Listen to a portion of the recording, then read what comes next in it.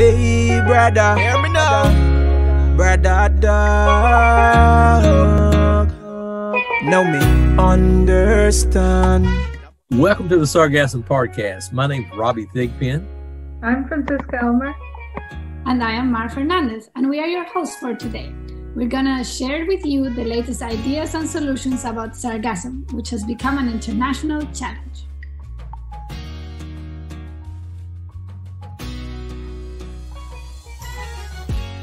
Hey, everybody. Want to welcome you today to uh, our podcast and all that. Uh, we got a really good day here ahead of you. And all, we got a really nice lady from uh, De- Debbie Bartlett from uh, the UK. And kind of excited to talk about her. We've been chatting with her a little bit, getting to know her, and, and it's been fun and all. But uh, Francisca, uh, Mara, if you guys got anything you want to share with us before we get started today? Uh, I don't nothing. have much. Okay. It's just been snowing here in Switzerland, but that's about it. What about you, Mark? I'm really busy preparing a meeting from our data set from Peru, and I'm struggling because that country is now kind of closed for anything related to research. And so it's um, tough to get things together. But yeah, moving on. Yeah. Well, well, well, cool. Well, you know, like I was talking about earlier, com, uh, completing the impossible is pretty cool stuff. So I'm, I think you'll you'll do good, and all. But um, today we're talking to uh, Debbie Bartlett. She's a professor in environmental conservation at the University of Greenwich. Her background is consultancy, and she had a, has working experience with uh, working with local authorities and government agencies before moving to full-time employment in academia. Together with John Milledge, who we interviewed uh, early in an earlier episode, she works at the Darwin Plus project to find sustainable solutions for sargassum inundations in the Turks and the Caicos. And as a part of this, she conducted one of our one of the first studies to determine the social and economical impacts of sargassum has on the islands and a lot of really other cool stuff we just found out about. And so, Debbie, welcome today. Thank you. Delighted to be here. Yeah, welcome very much, Debbie. And I have the honor to ask you our first question, which we ask to everybody who um, comes to our podcast. And the question is, what is sargassum? I think sargassum is a really interesting um, group of species. We have we have sargassum here, which is completely different to the sargassum that you're talking about, which is in the Caribbean. And the sargassum we have here is, is muticans, it's the Japanese wireweed, and it's an invasive species, but it has a holdfast. So it has to fix on to um, surfaces and then it grows for, for meters and shading out, shading, shading out things. And the usual problem with um, invasive species that if you harvest it um, for any any purpose, any tiny bit that you leave will will um, attach itself down and grow to meters length again. Wow. But the sargassum that we see in the in the Caribbean, I, I think is absolutely fascinating because it's a community. It's a mat, a floating mat of, of algae um, with amazing quantities of other things mixed in there. And I think we really do not understand at all what's what's going on. Yeah, that's true. Um, so Debbie, am I understanding correctly that you've also done some research on nature-based solutions and by doing this, you've um, come in touch with a lot of local communities around the world.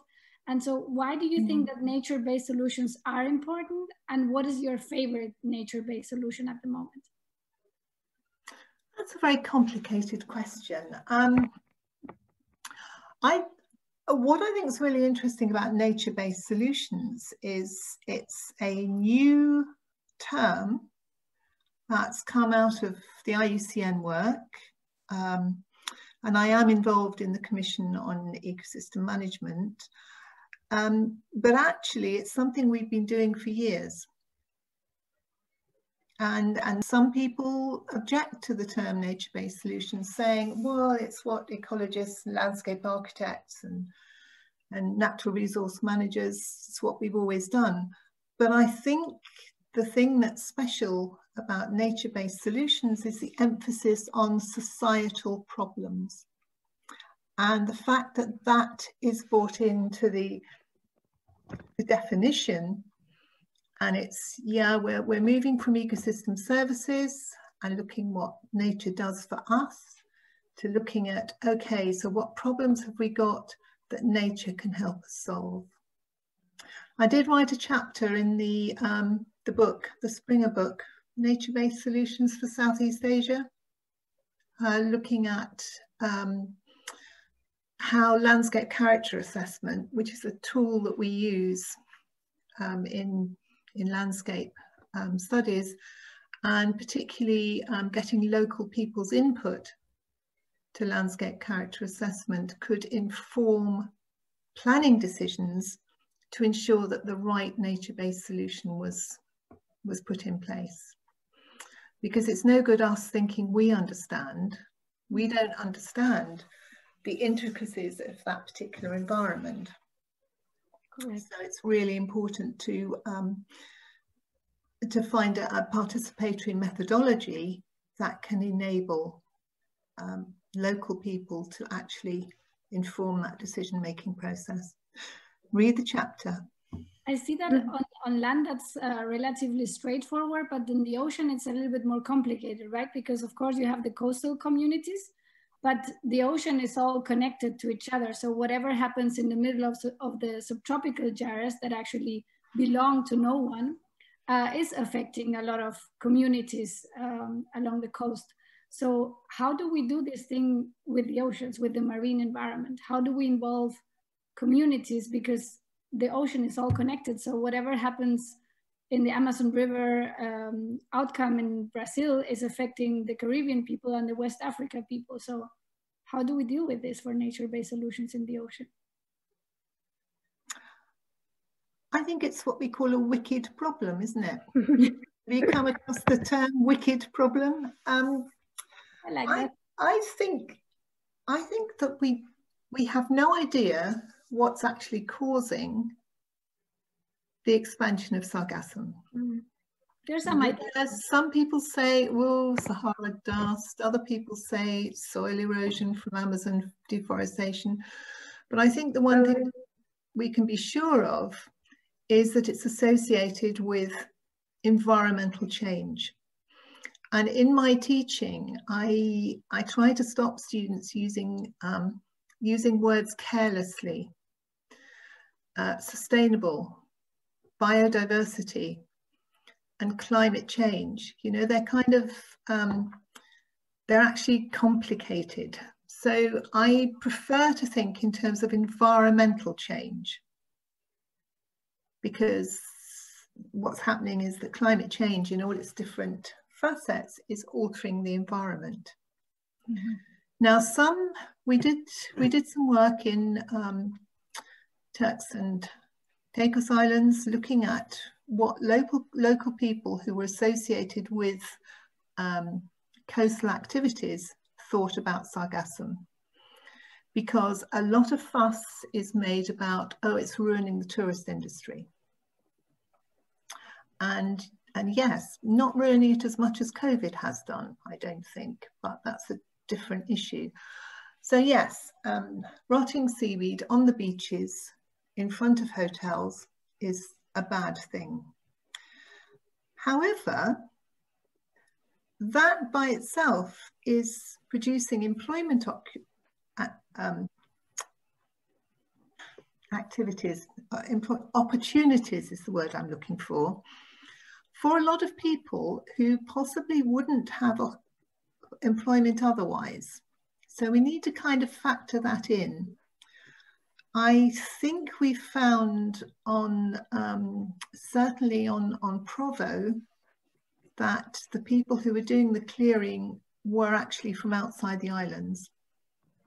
Probably weren't on very high wages, but it was still a job. The other issue was that the game fishers, who actually have quite a lot of tourists going out there to fish for, for game fish, they thought the sargassum was really good because it's providing a hunting ground for those big fish that they wanted to catch.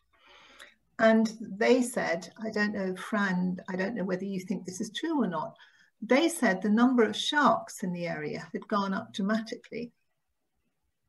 I actually haven't heard, and I'm not sure if I may, maybe, but I have seen one shark hunting under Sargassum once at Shark Bay. But other than that, I haven't really seen links between sharks and Sargassum. Well, we talked to game fishermen on um, all three islands. Um, I, I, I don't actually know how big it is as an industry across that area.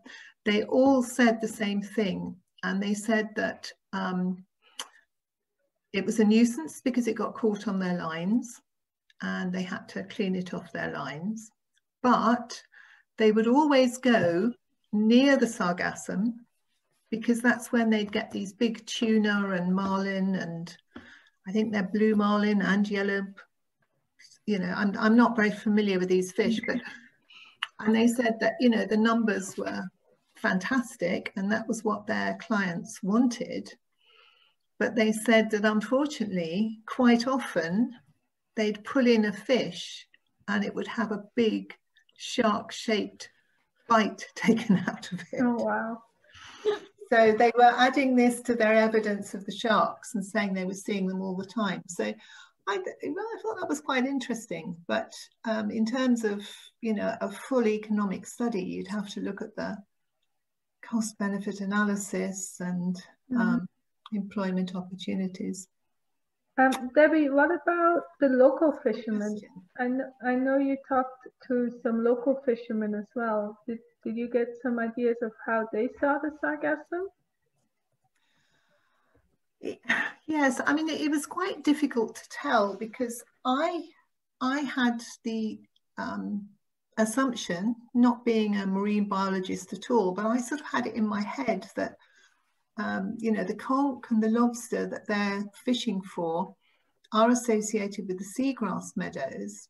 So surely um, the sargassum, if it's shaded, because of my experience here with sargassum shading out um, mm. other communities, you know, surely that would be bad um, for those areas. But there didn't seem to be um, there didn't seem to be much of a feeling about that and there didn't seem to, uh, you have to be very careful not to ask leading questions but there didn't seem to be any concern about um, numbers it was very hard to tell um, the extent to which there was any monitoring of of the fishery mm -hmm. I suppose there must be because so much conch is exported and lobster is exported.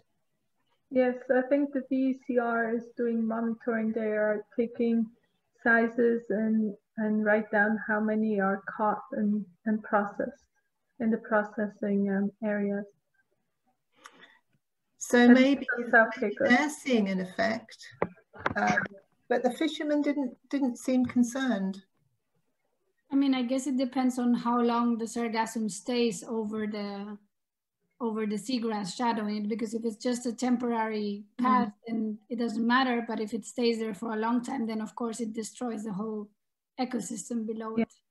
And we actually i did um, snorkel surveys with my students to look at the seagrasses. And on beaches with a lot of sargassum we saw fields of just stumps of seagrasses which were completely gone from where it was close to the coast out to like 100 meters or 50 meters, depending on where we were from the coast. So the seagrass beds further out were okay, but the ones really close to the coast were, were gone. But I think the fishermen don't go that close. No, um, they go further out, don't they? Go further out. So yeah. I think that may be why it didn't affect them. I do remember though in August, September 2019, when we had a lot of sargassum and at the same time a lot of very like brown and dark water, maybe due to the sargassum, but also kind of far out. So Yeah. we, we aren't sure where that, you know, turbid water came from. And that was right at the beginning of lobster season. And the fishermen were not happy because the first two weeks of lobster season is when they make most of their money. And they couldn't find their lobsters. But I think later on, when it cleared up, they were able to find those lobsters and maybe it made up for it. But those first two weeks, they weren't happy at all. That The lobster might have been lobsters. bigger. Well, the I- thing the thing about the the, uh, the the seagrass meadows and the mangrove ecosystems, um, you know, the the lobsters feed on there. They're they're they're carnivores. They they uh, they eat snails and whatnot. And the conch live there. And but the thing is that's overlooked and how this is also effective if the seagrass any of the seagrass meadows die is that you know except for the pelagic fish you were talking about a minute, minute ago, every com- economically important fish species, marine species, spends Yeah. one phase of its life in the seagrass meadows and or mangroves. Yeah, So even if it's not where they're stores not where they're fishing, they're destroying a, a important nursery and juvenile habitat. And without that, to support this stuff, that this, some of the stuff's just gonna go away. Um, as far as uh, how quickly they recover, I don't know from a killing like that. Maybe the rhizomes live and, and regrow or something after the uh, shading event or whatever it's going. But what I do know is there's a couple places in Belize that were dredged in the 90s to fill in mangrove uh, islands to have so shiny white beaches for Hmm. tourists. And and I fished behind those. And and, and those um, seagrass meadows that were were dredged then have still not recovered today.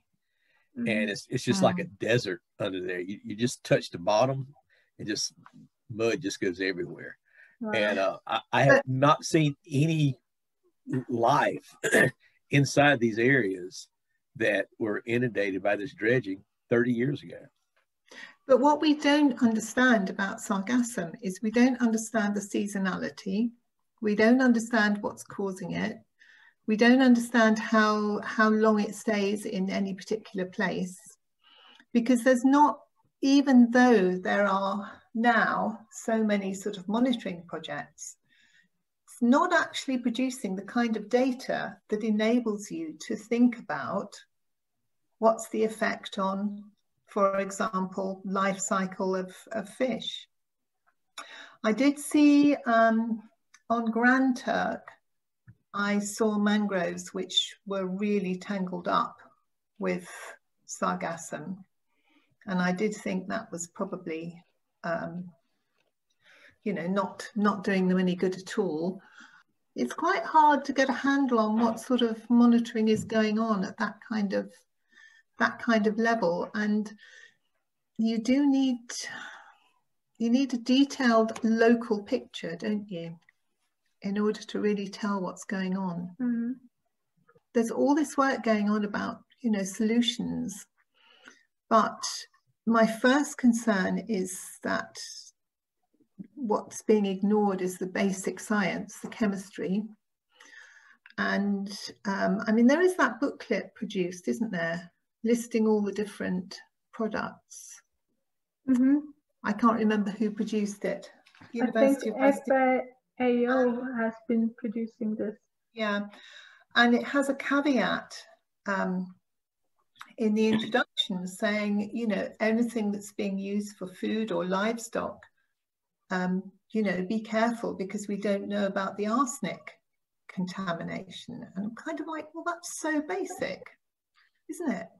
But I, I talked recently to the guys from C-Combinator who are based in Puerto Rico and they're trying to do um, things out of sargassum like fertilizers and so on. And they say they figured out a way of removing the arsenic from the sargassum. So somehow people are Yes, working on these issues.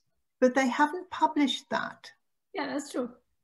and and we we would like to know how they're because we're we're still working on you know, what form is the arsenic in? Is the arsenic, um, John has this idea that if you leave it to weather on the beach, the arsenic will magically disappear into the sand, which may or may not be a good thing depending on your perspective. Um, anyway, so we're we're working on that. Um, so that that's the first thing, and the other thing is if you're going to have any kind of use for sargassum, um, you've got to know how much. If someone is going to invest in some kind of industrial process that's going to use sargassum, you need to know how much and you need to know you've got a reliable supply. For example, on South, South Caicos, I mean, to get all the sargassum off the beaches into one place to do anything with it would be quite logistically tricky. And I'm sure it's the same on other islands as well.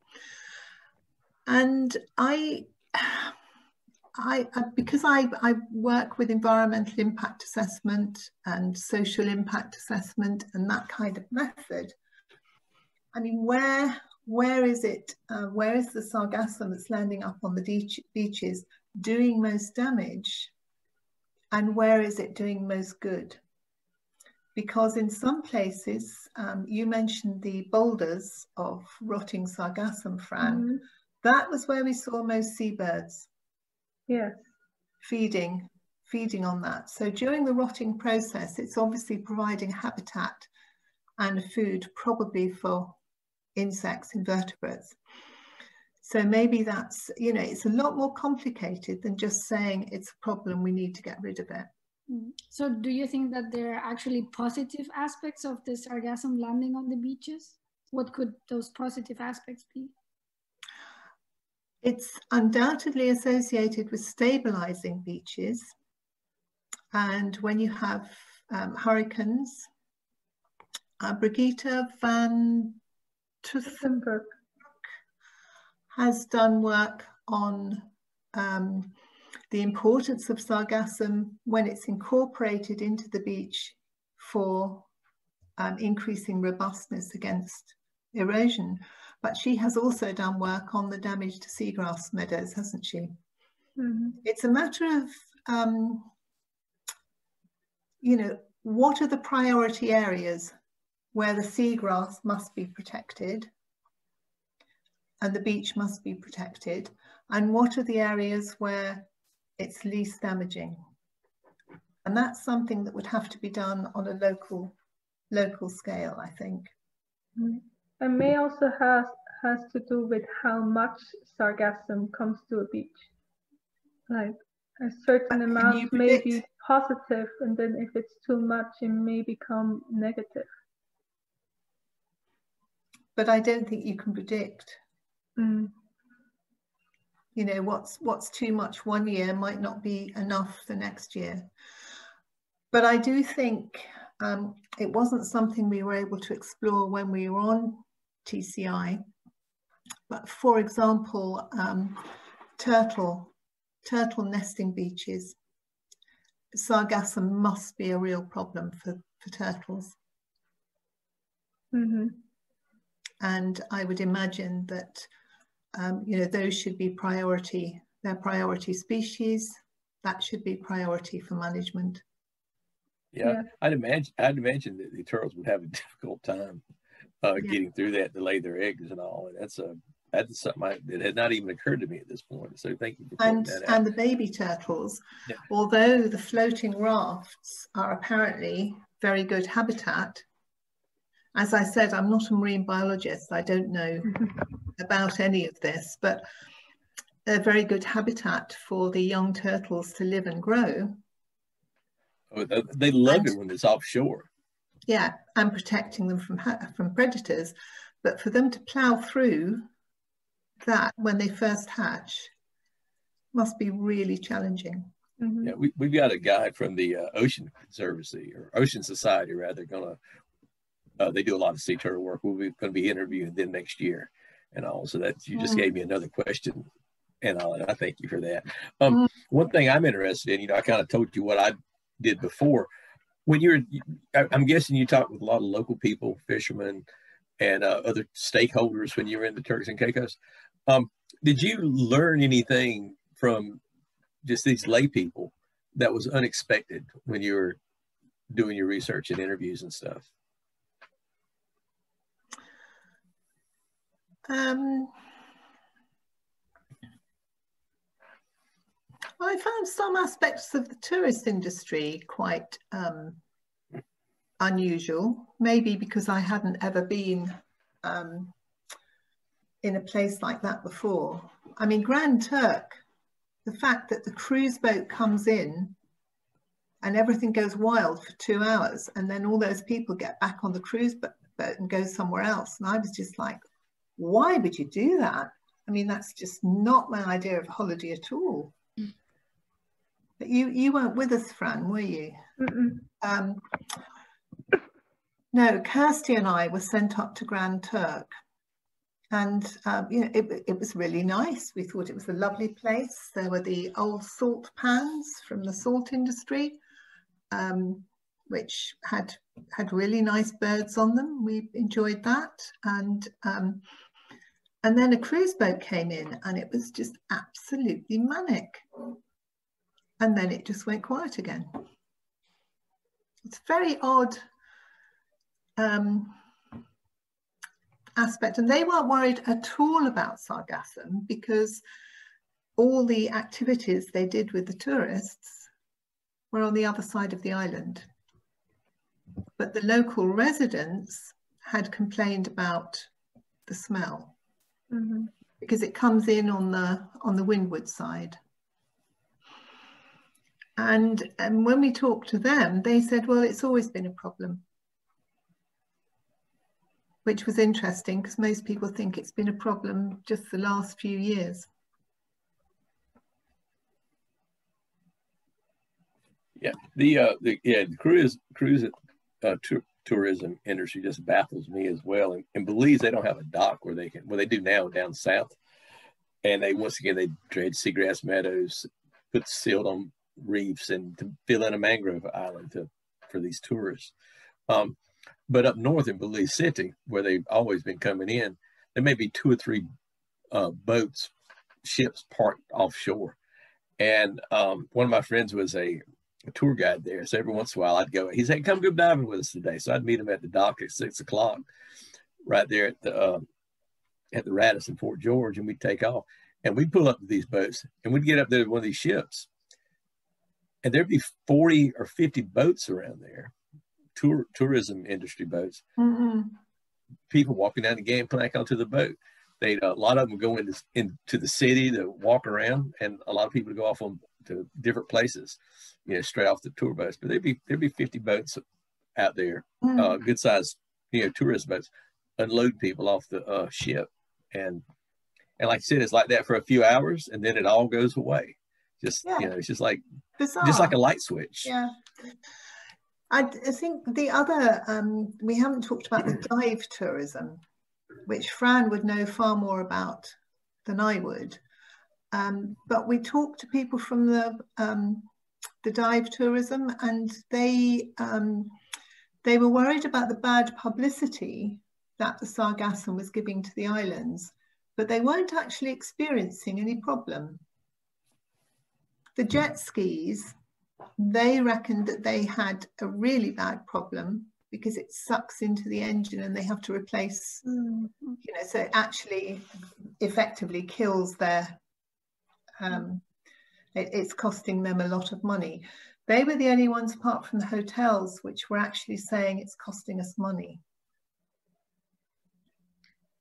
But I was going to say that for the for the general tourist that wants to go to the Caribbean to do diving, they don't know about this patchiness of sargassum. They don't know that sargassum might be a problem somewhere, but not in another place. Mm. So maybe that's even if for them sargassum is not a direct problem at that time point, this bad press of sargassum being everywhere in the Caribbean is actually affecting them indirectly. Mm. And I talked to the um, they're called the Sustainable Tourism Group on uh, Provo, which bring together the, the tourism. And they were um, they weren't so worried about having to clear it up as opposed to the um, hoteliers on um, South Caicos who were, you know, they didn't want to clear it up, did they, Fran? And they, you know, they sort of just costing them money. On Provo, they didn't, that wasn't the problem. The problem was the bad publicity mm -hmm. But that they felt even... was putting people off coming. They didn't mind clearing it up. I mean, I, I suspect it wasn't in the overall scheme of things, even if they were clearing it every day, they weren't actually clearing that much. And Provo being, um, you know, Grand Turk gets it worst and moving across the islands. Provo is kind of, well, most of the Sargassum has ended up on Grand Turk and islands in between. So on Provo, there's much less volume of Sargassum than there is on the other islands. But even the hotels on South Caicos I mean, yes, their main problem was clearing it up and having the means and the, the machinery and the people to do so. But at the same time, they were also very, very concerned about um, people not knowing that sargassum was a problem in the Turks and Caicos and on their um, in their establishment. So they didn't want to be um, in news articles with the mm-hmm. name of their. Or even in um, scientific reports. Um, yes. They didn't want to have the name of their hotel being mentioned because then people may not come and see them, even though they, doing all the work, have found a way to clean, clear their beaches and make them enjoyable for the tourists. Mm. Yeah, well, well, from a lot of your comments, it seems like to, to, me, and you please correct me if I'm wrong about this, that you've got a, a lot of different stakeholder communities that are, are, are they coordinating with each other to to deal with some of these things, or are they just working independently of each other? And is it important for them to work together? I think that a lot of them are in competition with each other, so it'd be very difficult to get them to work together. Wow. What do you think, Fran? yeah, I don't I don't know. I mean, I think they informally maybe exchange information, but they are kind of like two different hotels are competing for customers with each other. Um, but there's definitely been some cooperation in like where to store the sargassum afterwards um, on South Caicos between the two hotels. Hmm. Oh wow. yeah. Yeah, it, it seemed like if you, if two different people, even if they're in competition, have a shared issue, that uh, we could accomplish a lot more by working together. I think and, if, uh, supposing on South Caicos we had come up with um, either um, the idea that it could be used for fuel. It's not very good. On initial, initial chemical analysis does not show that it's going to be very good for biomethane production. Or we could find a way of composting it. And the problem with composting it is that it's very high in salt.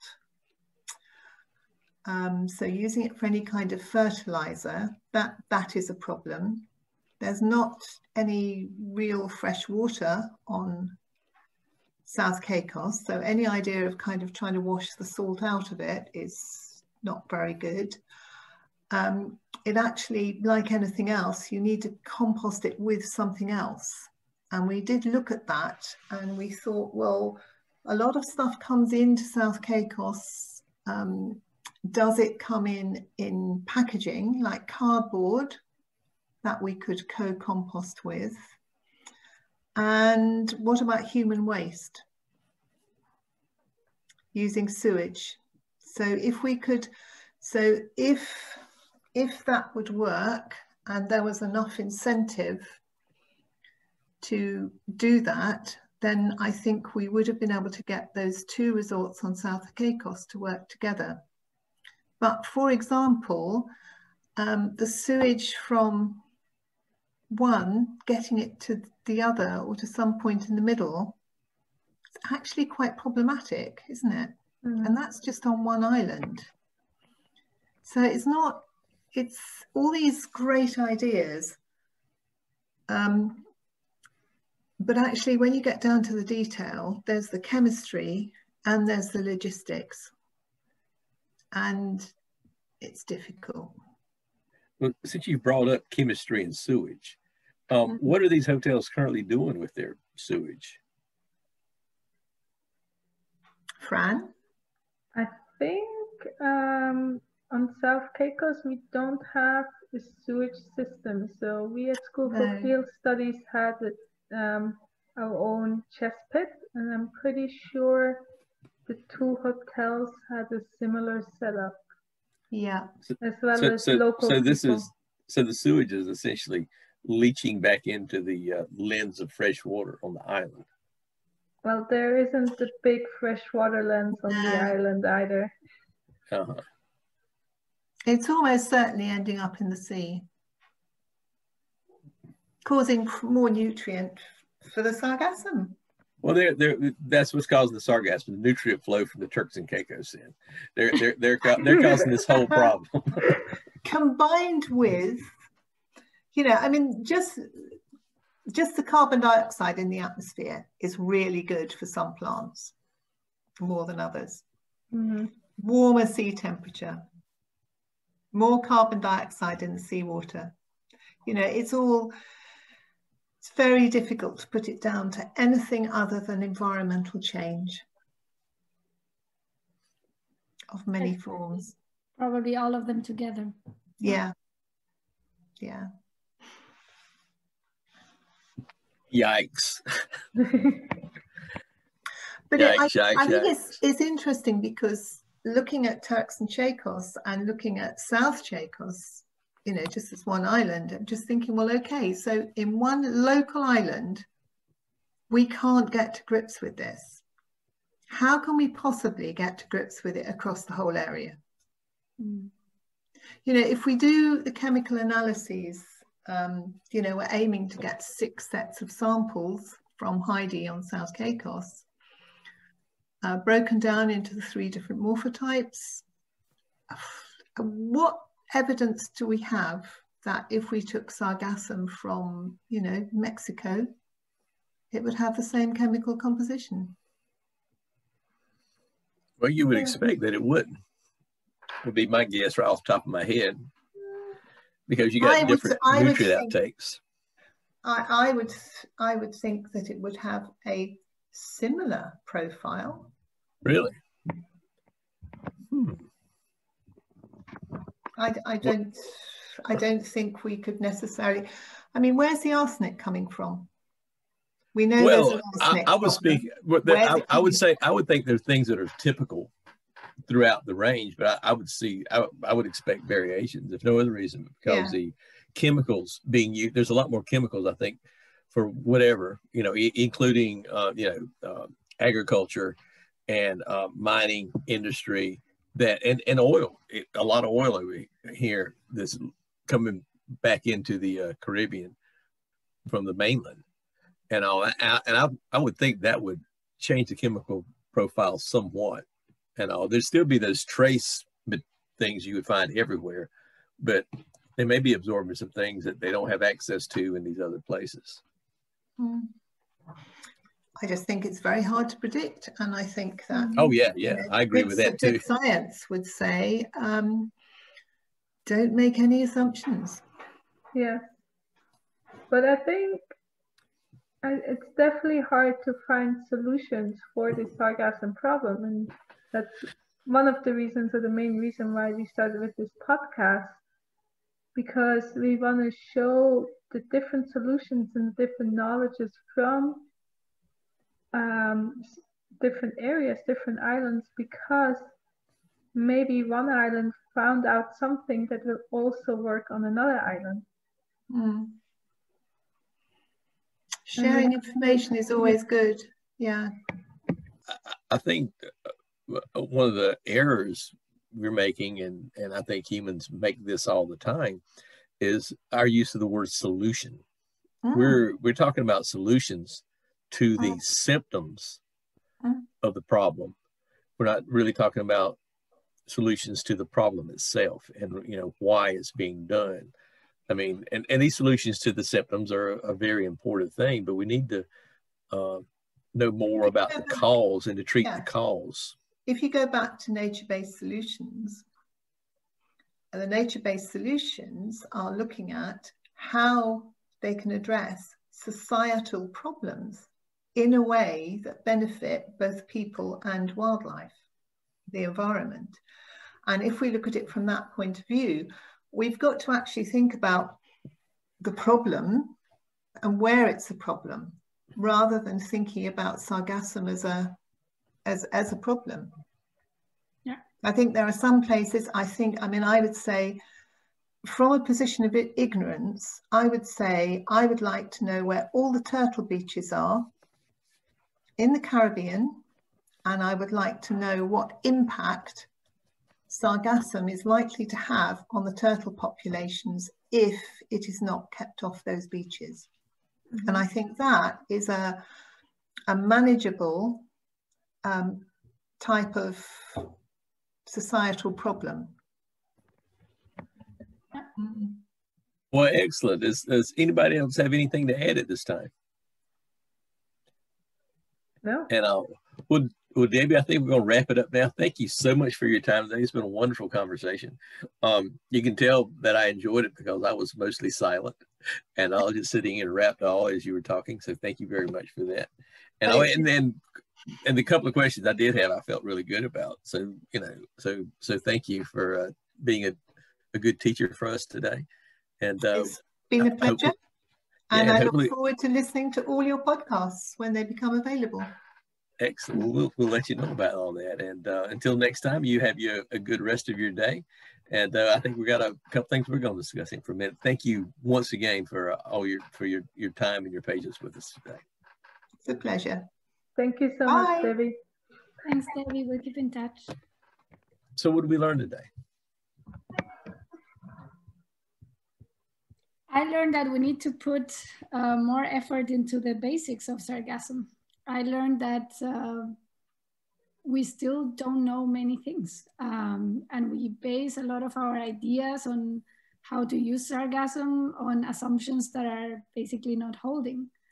Um, and I think that was what I learned today, that we actually need to go back to do the basic research on sargassum, go back to the labs and measure the chemical composition and go back to the field and look uh, who is living inside the sargassum and maybe also what I thought about now at the end, um, to basically do more synthesis papers. You know, there's very few people writing reviews on what is known about sargassum. There are a few that came up uh, recently about the carbon content and so on, but there's still so little done in terms of integrating the knowledge because sargassum is so patchy and the areas where it lands on the beaches are also so patchy and so different um, that basically putting together all that knowledge is going to be the next uh, big thing to do.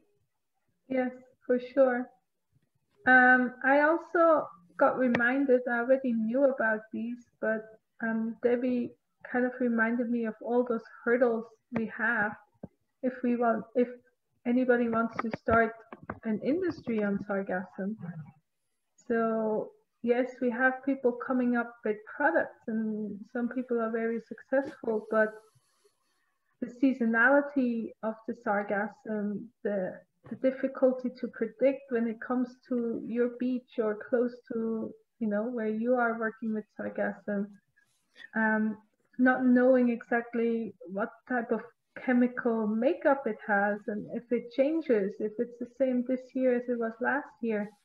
There's a lot of hurdles which are difficult to deal with. And I think we need I know there's people working on all those things to to make the prediction better, to to get more chemical analysis, but it's definitely a group effort to to go over those hurdles as well. Um, if we want to make this possible in the Caribbean to to use sargassum as a resource, not just have it as a nuisance. Yeah. Yeah, well, I don't necessarily think of the seasonality as, as really a, a negative and all, except for financially. I, I, if, uh, for example, of some of these lotions and other, you know, high value, or what we hope will be high value export products, um, there's scarcity during certain times of the year, maybe may make them more popular. Yes, but some years you will get more than others, and you don't know. So, what if you want to expand your business and start bigger plant? Are you thinking about how big of a plant should I build? How many people should I employ? And one year there's enough work for one person, and the other year enough for ten people. That's kind of difficult to to work with. Yeah. Yeah. Yeah. Well, excellent. This has been a good day. Uh, a little mm-hmm. bit longer than we expected, and obviously, it was a, Debbie was a very interesting person. Had a lot of really good input. Um, so I uh, I appreciate having. That's all we got today. We'll just we'll just call it here.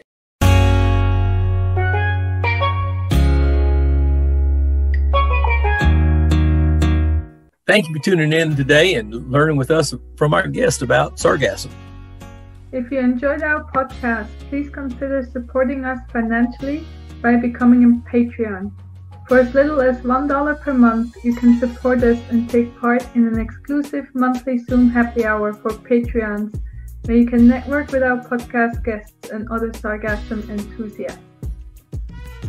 This podcast was produced by Marcel van der Kamp, and your hosts today were Robbie Tingham, Francisca Elmer, and Mar Fernandez. We'll be back next week with another exciting guest. Do you want to find out more about what our guest talked about today? Check our show notes for links to the documents and website. The music in this podcast is from the song Demo Pray by Drizzle Roadrunner, an artist from Roatan.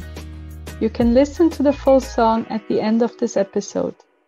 If you enjoy his music, then please follow him on Spotify and YouTube where you can find more of his music. But for now, here is Demo Pray by Drizzle Roadrunner.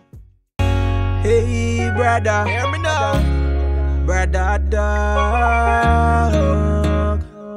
Now me understand. Nobody know what to see we get nothing. That's why they my free and always front and star. Nobody know what to see we get nothing. That's why they my free. Nobody my free a pray. Them a pray, me no gain progress. Enough of them a pray. Them a pray, me no reap success. Enough of them a pray. Pray, them a pray. Them a pray, me no gain progress. Enough of them a pray. Them a pray, me no reap success. So me tell them, yeah, come and me no take that. Only come from Jah, I'll accept that. Enough of them me put me trust in and give me setback. Yo, selector, we don't pull up that. Tell some wicked that bad mind, me no fear them. Anytime them cheat and chat, me no hear them. Me dash a few soak for the queer them. Me dash a few hard soak, tell them where them. Now for them a pray. Them a pray, me no gain progress. Now for them a pray. Them a pray, me no reap success. So me tell them yeah. Yes, me know me have a lot of fake friends, but me never woulda thought me woulda have fake family. So me tell them straight, me no trust them, me no trust you, and me no trust him. Fake friend lost bad mind in a real life. Star me no rate that, star me no rate that. Me real me woulda bust a million shot in a real life. Real, real, real now for them a free, them a free. Me no gain progress. Now for them a free them a pray me to reap success. Now for them a pray. Them a pray me no gain progress. Now for them a pray. Them a pray me to reap success. So me tell them yeah. Oh.